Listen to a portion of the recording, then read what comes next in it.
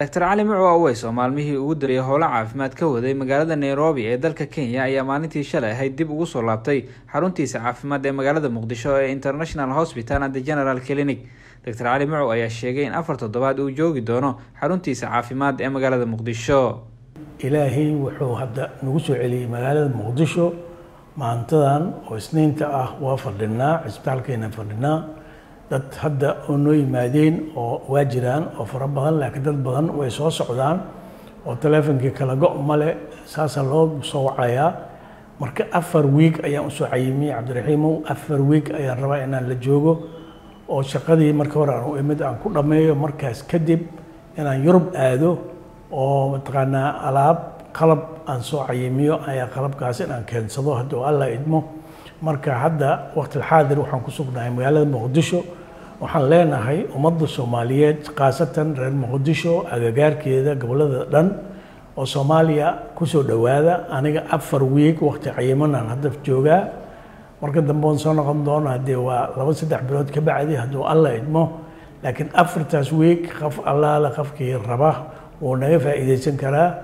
Wax kasta aad sheeganayso waxbaan kala gaaraynaa soo dhawaadaan leenahay ummadda soomaaliyeed. Dr cali mucu aweys ayaa tala caafimaad u soo jeediyey dadka soomaaliyeed meel kasta ay joogaan. Wuxuuna ugu baaqay inay ku dadaalaan caafimaadka caloosha. Dr mucu waxa uu sheegay marka bisha ramadaan ay dhammaato ciidaha la gaaro in dadka soomaaliyeed ay aada u isticmaalaan waxyaabaha maamacaanka iyo raashiin aad u badan. Taasina waxa uu sheegay inay dhibaato ku tahay caafimaadka caloosha.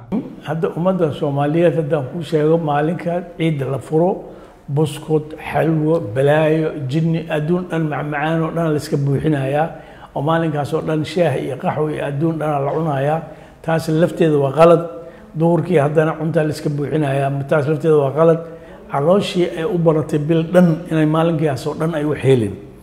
Ilaa ay ka soo dhaqato waqtigoo rabaa marka waxaan leeyahay ummadda soomaaliyeed aan weliba tala ku siinayaa marka ramadaanka la furo oo ciidda la gaaro wax yaryar bal ku bilow in yaryar in yaryar ku bilow sida caloosha ayna dhibaato fara badan u arkin ayna ku gaarin.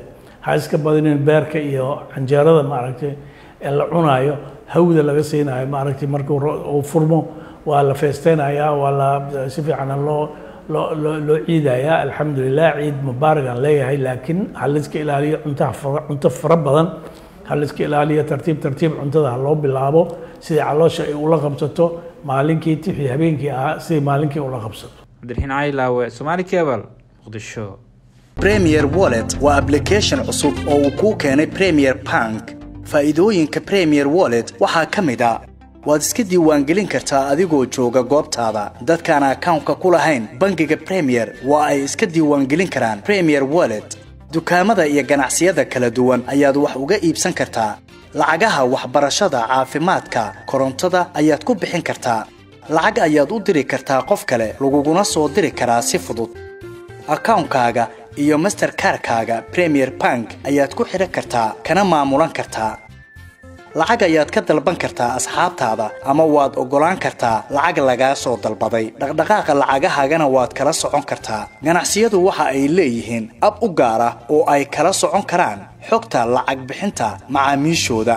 Intaa in ka badanba ka hel abka premier wallet oo kala soo deg hadda blay storeka ama ab storeka